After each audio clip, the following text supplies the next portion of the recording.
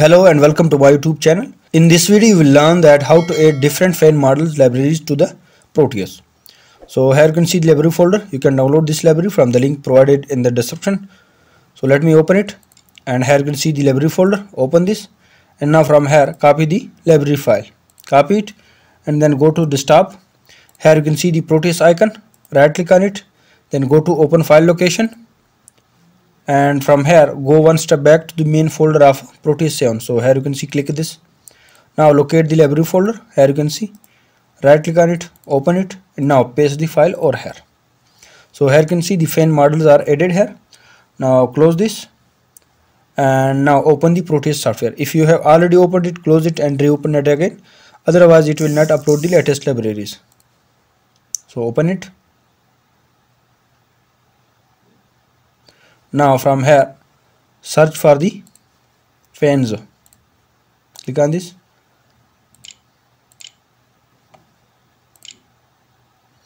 So here you can see the multiple fans.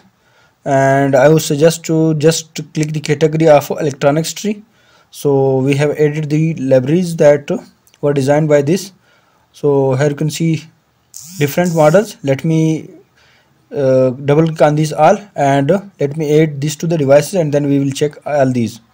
So double click on this then this then this. So you can see different models. Now let me click on uh, ok and uh, place this one here.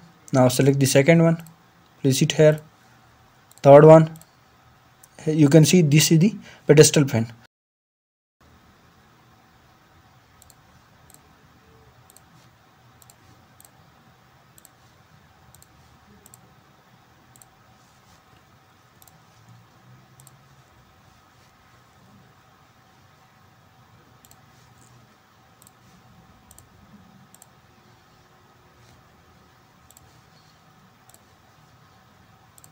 Please keep in mind that you can use all these fans as a DC as well as as an AC. Now let me pick the battery and check these.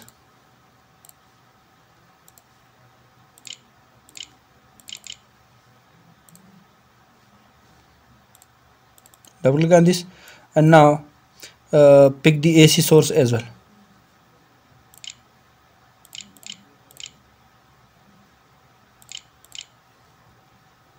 So here you can see the generator. Let me pick this as well.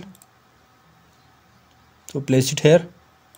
And uh, place the cell over here.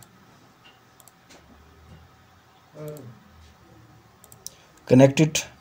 And now change the voltage from 1.5 to 12 click on ok. And uh, now run the simulation.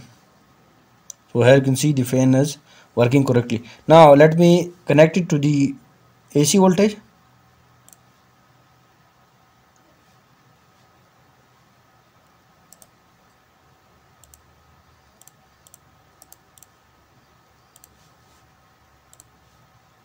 So here you can see in the DC as well as here you can see the AC as it's a 12 volt but it's working correctly. Let me change this to 220